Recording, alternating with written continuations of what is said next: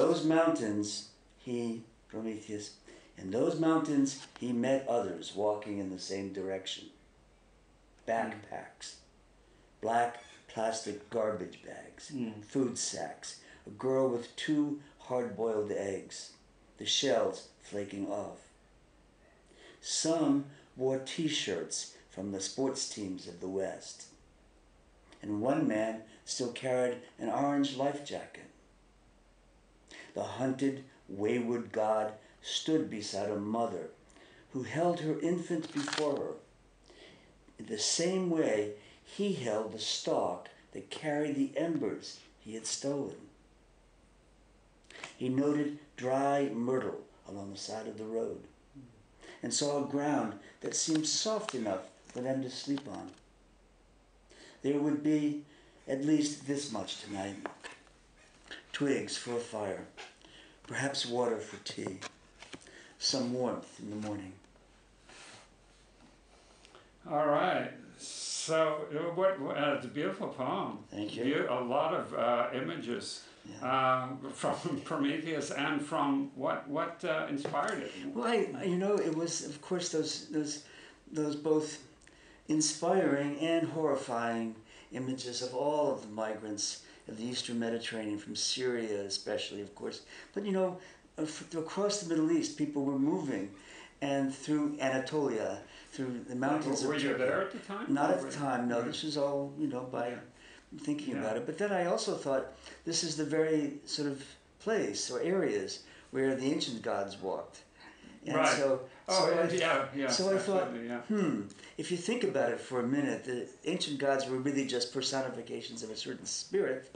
And the idea of bringing fire to people, that spirit of it seemed to me something worth bringing to the question of people, uh, you know, who were who were struggling to survive Yeah. and walking through um, countries and places where they had nothing. Yeah, you know, yeah. and no, so- I love the images. Yeah. So uh, yeah, tell, tell us uh, tell us a bit a bit about your life. Um, how how'd you come to poetry? And, Um, first of all, it's a hard question, you know. Uh, uh, in life, I think that I came to poetry, I, I sort of fell in love with it when I was a freshman in college, and that's a long time ago. um, but I remember vividly um, in the second semester of that year, I had a great teacher. His name was Rodney Della Santa. Actually, I wrote a, an elegy for him in this book, and I love that name Della Santa even then. Yes, yeah. And but he was a he was a very committed teacher, and and among other things, he he allowed he taught Dante's Inferno to freshmen, and also I studied and read very carefully Gerard Manley Hopkins, and I remember that the combination of Dante and Hopkins, both kinds of poetry. Um, uh, captured my imagination. There's no other way to put it. yeah. And so, you know, sooner or later you start to write things on your own. Saul Bellow uh, once said and wrote that a writer is a reader who's been moved to emulation. And I read that only many, many years after, but that is what happened to me. Uh huh. Uh-huh. You know? Yeah. Uh, and then um, you're, you went into the military or what? Yeah, happened? this was in 1968. Yeah. And this was, a, as anyone, you know, of my age, and certainly anyone who studied the time know how turbulent it was. And I was from a working class background, and I graduated from college. I, I don't know exactly why, but I tried to sort of. In this area here. Yeah, I was in yeah, Providence. I grew up yeah. in Providence. In Providence. Right. And um, and it was sort of like my my roots asserting themselves. I thought that I should go to the war that was going on then to write about it. And it was a kind of callow, youthful judgment. You, you volunteered. Yeah, I enlisted. Uh huh. And I enlisted in the Marine Corps. I became an officer. Yeah. And two years later, I left as a conscientious objector. I was in Okinawa at the time. I had Right. not gone to Vietnam. Um, and but I left um, in part um, because I in those two years I grew up, and one of the ways in which I grew up is that um, I I learned um, about the My Lai massacre. yeah.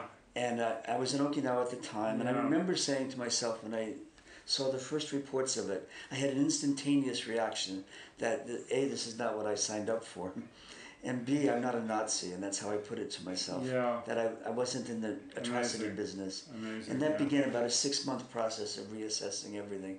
And, Uh-huh. and about nine months or 12 months really later, I left. Uh, I was the first Marine officer to be honorably discharged as a conscientious objector. Wow. Yeah. Amazing. Yeah. Amazing. Yeah. And um, Uh, I signed up when I was 18 as a conscientious objector. Did you? Yeah. And, I'm- and eventually uh, they, they allowed it to, to me. But it's very hard road to Yeah. to uh, to get to it. I, I often Yeah. say that that it's not something that you tattoo on your arm one day yeah. and then you're that way forever, right? You have to you you keep you, you keep committing yourself over and over. Yes, that's again. right. That's right. For me, I would say just say for me that um, I'm even more committed to being conscientious objector or uh, objecting to war than I Right, ever exactly. was. I think it it, it increases uh, the, and and then uh, so you you started writing poetry around that time. Well, I've been writing a little bit of poetry in college, and I- enough to sort of you know give me the idea that that was really something I needed to do. Yeah.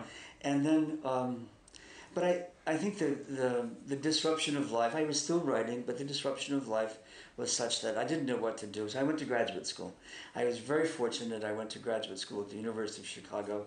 Oh And- wow, that's a tough uh, that's a and- tough road. and- there. Yeah. partly because Uh, the, the, the, the English department. Oh yes, of course. the Committee on Saul Bellow. Social Thought. Right. He, uh, he.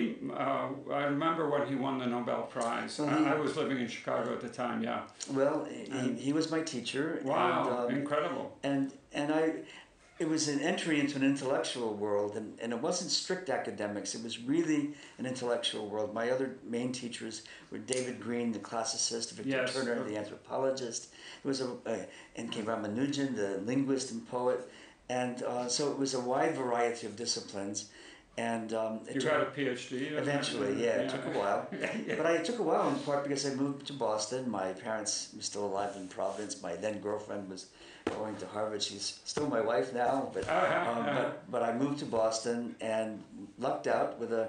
I was still a graduate student, but I get a full time teaching job at Suffolk University. Oh yeah, and you've been there ever since. Not quite. I Oh, finished the uh. dissertation, but I wasn't writing enough poems, and I had to make an existential decision. I had to walk away from a tenure track job to concentrate on my poems. Wow. And um, and I thought I was leaving teaching, um, but teaching wasn't the problem. Well, was- nobody would do that today. Nobody would walk away from know, a tenure track job. But I, lucked, Yeah. but I lucked out. I, I ended up teaching expository writing at Harvard. Richard Marius was the director there, and he wanted to hire writers to teach writing. That was his idea. And then I taught in history and literature at Harvard for three years. And I also taught for a couple of years at BU. I was making my way up and down the Charles River. And um, in the middle of my second year at BU, I was invited to come back to Suffolk and um, um, direct a program I had helped start in the beginning, an interdisciplinary Yeah, program. yeah. And I, I took that opportunity and went back to Suffolk in 1988, and I was there ever since until 2014. Okay, we're talking with uh, Fred Marchant, my good friend, uh, who I've known for. I've known. I know your work very well, and um, this is um, a New England Authors with Kameel Nasr. So uh, we're talking a little about your life. Uh, Tell us about poetry. So I have um, an, an, I have an impossible question for you. Define poetry. Yeah, it's Okay. it, it, it's a great question. It's the right question, and it's the question that in our time, you know, one always struggles with. You know, maybe a hundred years ago, one wouldn't even think, well, what you know, what's poetry and what's not. Everybody knows what poetry is, but it is the modern and postmodern situation to have everything that's iconic and stable shaken, and so um, I have a kind of relativistic, but in a good sense, a relativistic sense of what poetry is. I think of it as language that's been charged to do things that it that it doesn't do ordinarily.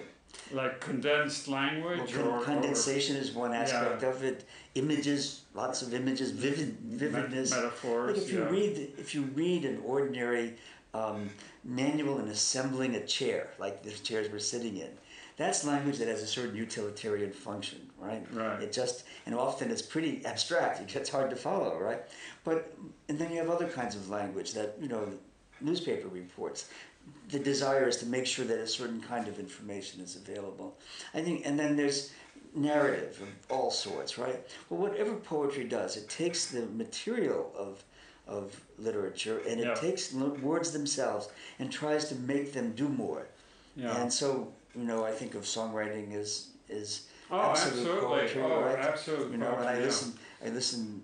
You know when I write, I listen to music, and I listen to songs. You know, and I always Mm-hmm. am sort of. Um, reminded of the roots of poetry in Right. music, right? Yeah. That way. So music is one way in which language is taught to do something it doesn't ordinarily do. Yeah, It's made more rhythmic, more emphatic via its Mm. music. yeah. And and I would also say, and I think you know this about me, I don't get, I don't sort of say, okay, here's po, here's the line. Yes, no. And, and there's No, that's not poetry. I think, Yeah. think that even even greeting card verse, it's a wide spectrum. Yes, yes, I was saying to you earlier that yes. you know, in a greeting card, the bad poetry of greeting cards, right? Well, one of the ways in which you know it's not so great is that you read it only once, and that's it, right? Yeah, and you're, You know? you're satisfied. exactly. Right, but you you- know, the other day, the other day, uh, I was going talking with someone about um, uh, the Minutemen and stuff like that. Yeah. And I, I uh, said, uh, and uh, she didn't know the the uh, Longfellow poem, the- The Midnight Rider. right. Paul, listen, my children, Yeah. you shall hear. Uh, and uh, so I read it, and it's kind of fun. Yes, it is. You know, I wouldn't read it every day, but it's it's uh, it's Well, and also in a, in a time when there wasn't all of the electronic entertainment, yeah. you know, you can imagine how what a, what a joy it would be to sit around the fire and read Yeah. that poem. So tell us about your sister. Ah, well, that's another. Because I want to read here one. I I am smiling- poem. Here we are smiling about poetry and, Yeah. and its joy. Well, of course, part of another dimension of poetry, another reason why you charge language with uh, possibility, is that, that it's a way of turning in the direction of things that are very difficult.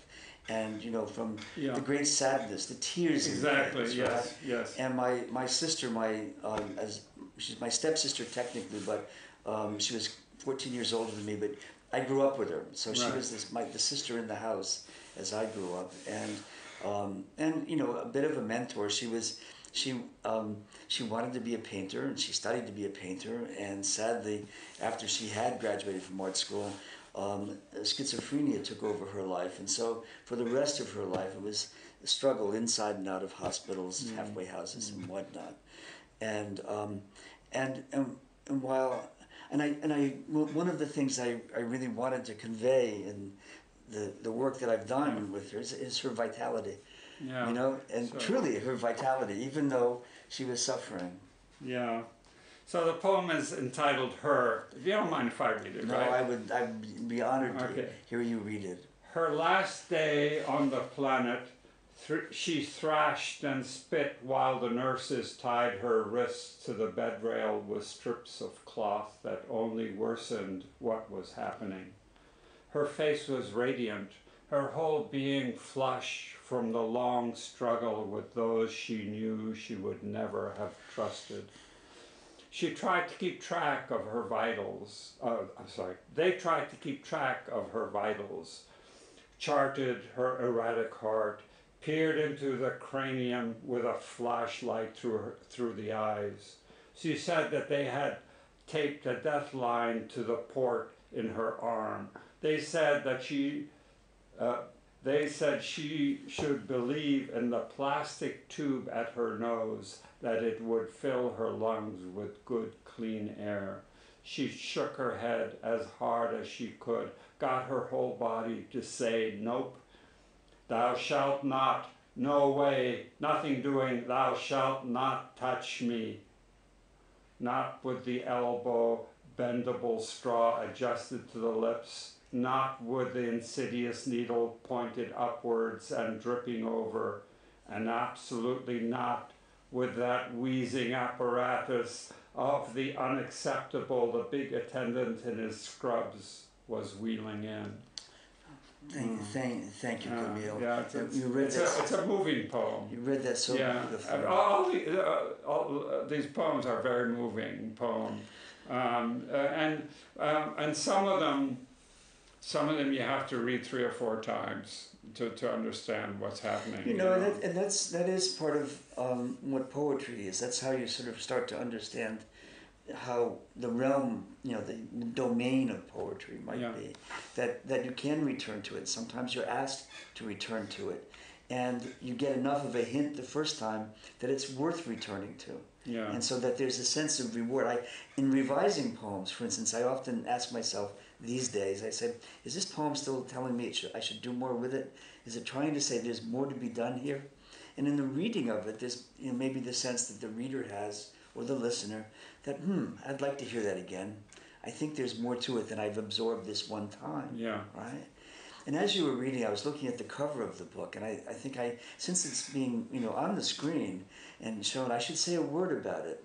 First of all, the, Oh, this is, I, I didn't even introduce the book. This is your latest book, Not Said. Right. You've have, you've have what, uh, four volumes I, of poetry? I have yeah? five volumes of poetry, one published in Ireland, but four in the U.S. Yeah, yeah, and this uh, this uh, just came out. Said not said. From Graywolf uh, Press in Yeah, Grey Minneapolis. Wolf. Uh-huh, uh-huh. And, And, um, well, on. as you were reading, I was thinking how um, how how meaningful it is. I hope to you and to the reader as well as to me, the title of this book, the the idea that poetry consists of what is said and what is not said too. And part of the work of poetry is to evoke some of the things that are so hard to say, but you get an idea or at least a Mm-hmm. Right. hint of it. yeah, And as you were reading, I felt there was some said and not said dimensions to that. And then you can see the, the cover, the image of the cover.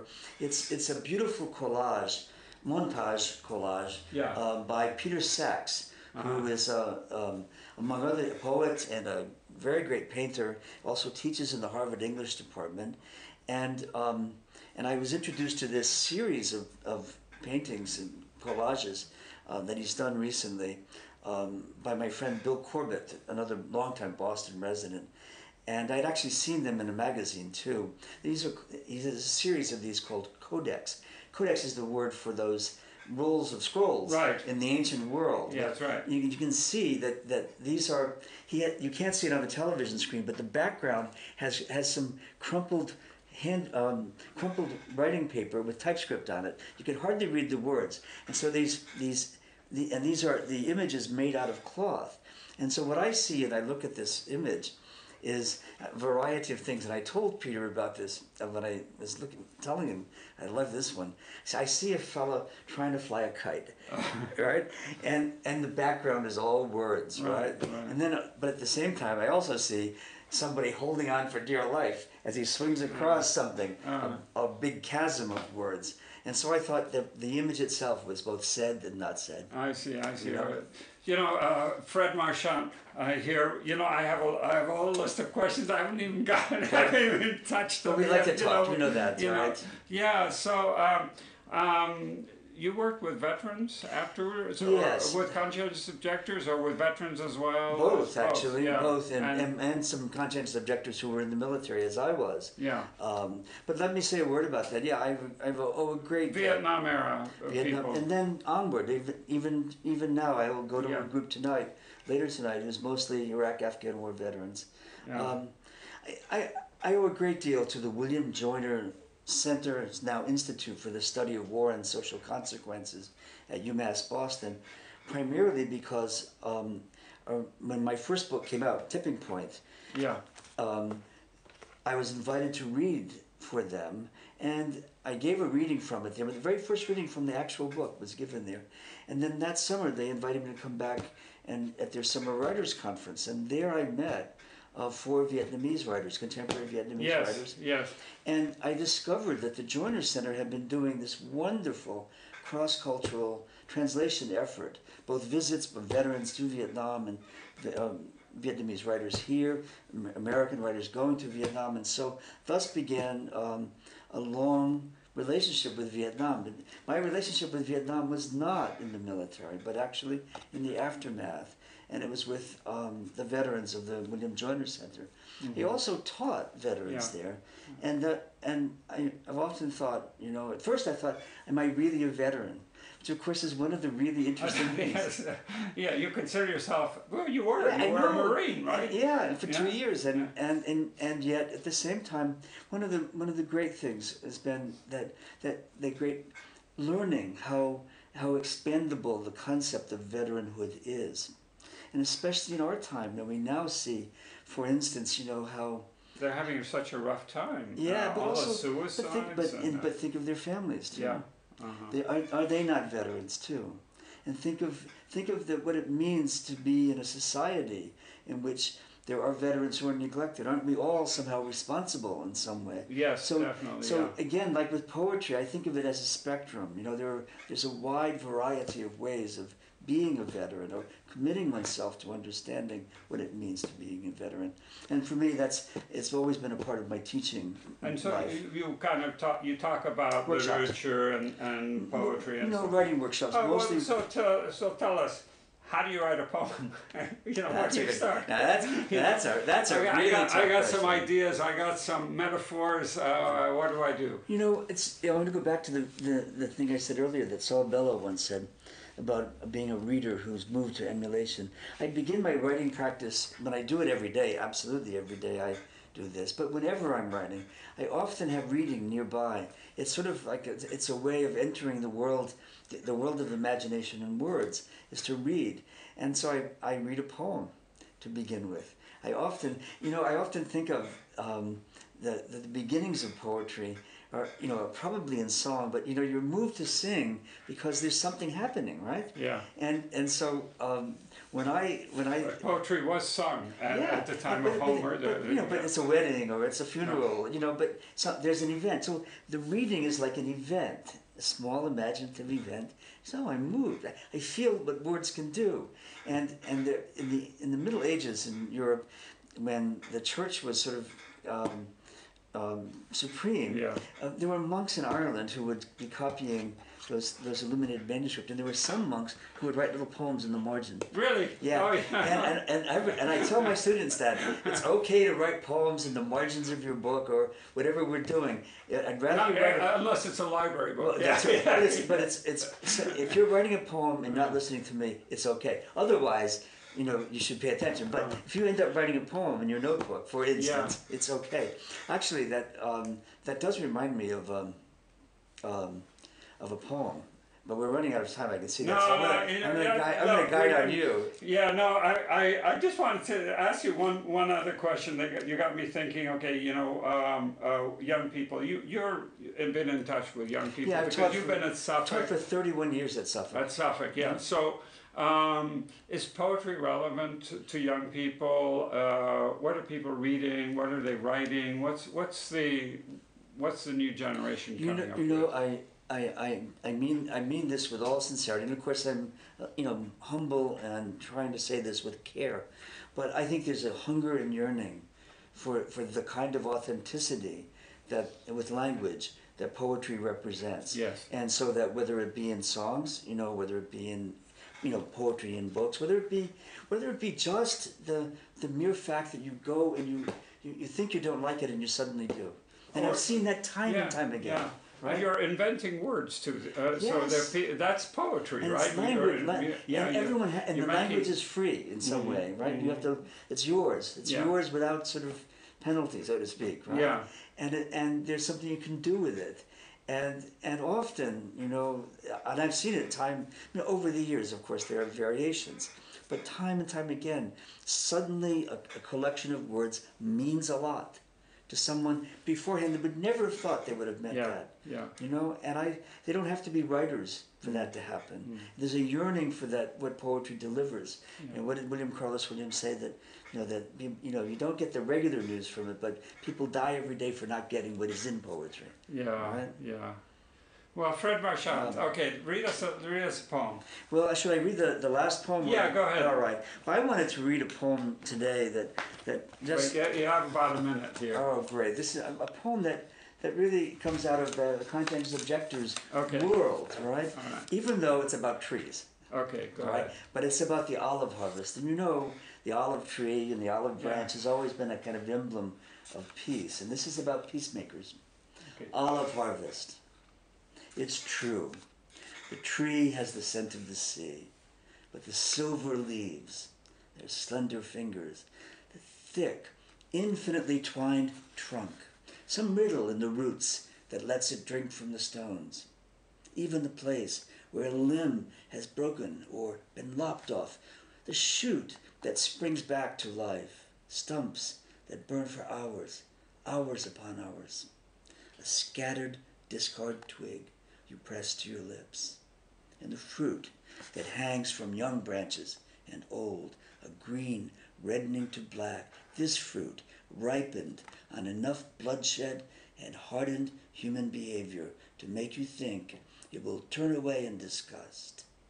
Year after suffering year comes back as if to say, here and here and here. Fred Marchant, thank you for being with us.